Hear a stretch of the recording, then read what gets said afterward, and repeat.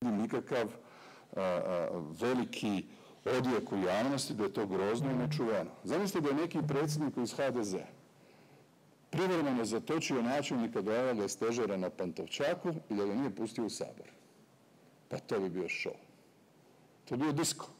Takvog tuluma političko-medijskog mi ne bi vidjeli. Garantiram da bi došlo do demonstracije gore na klizište, da bi demonstranti očerupali sve paune, gore na Pantovčaku, sigurno, 100%, ne bi nijedan preživio od toga, i oslobodili bi e, interventnim tim postrojbama pos, e, ovih prosvjednika i demonstranata iz opozicije zatočenoga načelnika glavnog stožera. A to se ne događa, zato što on nije iz HDZ-a. Dakle, moramo ovu priču, mi nećemo pustiti. Mi ćemo vući do absurda.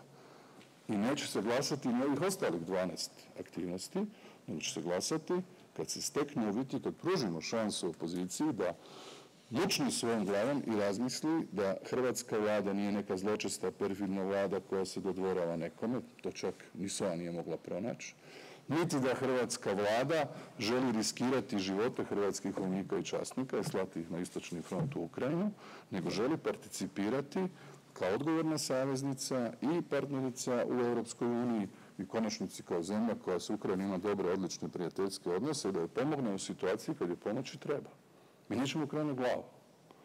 Ovaj na zemlji tuku ga, cipelare, maltretiraju, ubijaju civile, djecu, otimaju djecu u Rusiju, okupiraju teritorij, krše sve moguće međunarodno pravne akte, a mi ćemo zapraviti nego što otićemo tu na kavu. E nećemo. Nećemo.